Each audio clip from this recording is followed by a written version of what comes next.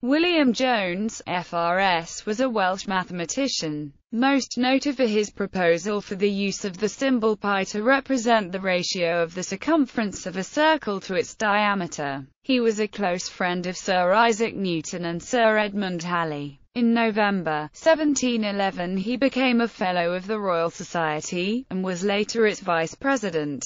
Biography William Jones was born the son of Sion Sior and Elizabeth Rowland in the parish of Llanfihangel Tre'r Beirdd, about four miles west of Ben Benllech on the Isle of Anglesey. He attended a charity school at Llanfechell, also on the Isle of Anglesey, where his mathematical talents were spotted by the local landowner who arranged for him to be given a job in London working in a merchant's counting house. He owed his successful career partly to the patronage of the distinguished Bulkeley family of North Wales, and later to the Earl of Macclesfield. Jones initially served at sea, teaching mathematics on board Navy ships between 1695 and 1702 where he became very interested in navigation and published a new compendium of the whole art of navigation in 1702, dedicated to a benefactor John Harris.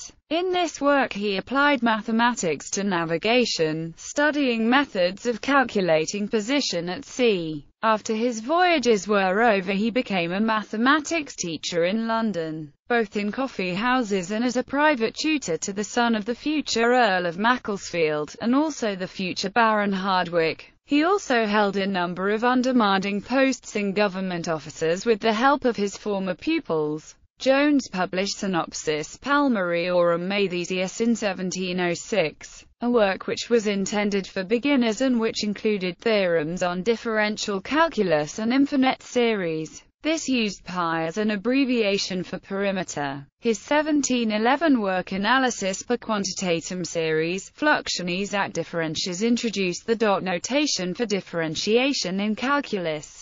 In 1731 he published Discourses of the Natural Philosophy of the Elements. He married twice, firstly the widow of his counting-house employer, whose property he inherited on her death, and secondly, in 1731, Mary, the 22-year-old daughter of cabinet-maker George Nix, with whom he had two surviving children. His son, also named William Jones and born in 1746, was a renowned philologist who established links between Latin, Greek and Sanskrit, leading to the concept of the Indo-European language group.